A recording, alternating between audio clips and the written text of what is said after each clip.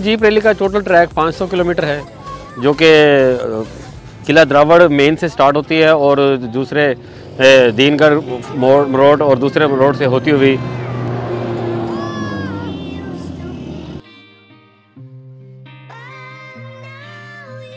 जो कि दीनगढ़ फोर्ट और मरोड फोर्ट से होती हुई वापस किला द्रावड़ पर वापस शाम को वापस आते हैं यहाँ पर। तो आप मेरे साथ रहिएगा, हम पूरी रैली को कवर कर रहे हैं।